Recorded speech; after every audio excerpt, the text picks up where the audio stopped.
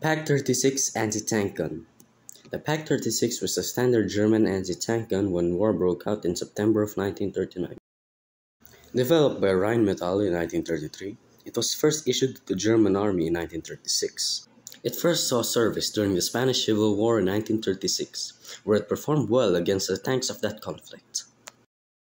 During World War II, it was first used in the invasion of Poland in 1939 and had little difficulty with any of the Polish tanks. It was in 1940, during the Battle of France, that it revealed its inadequate penetration capability against the French and British heavier tanks, particularly the Char B-1 and the Matilda II. When Germany invaded the Soviet Union, it brought the Pak-36 face-to-face with T-34 and KV-1 tanks, which were basically immune against it. The Pak-36 was replaced from late 1940 onwards with the Pak-38 and from November 1941 by the Pak-40.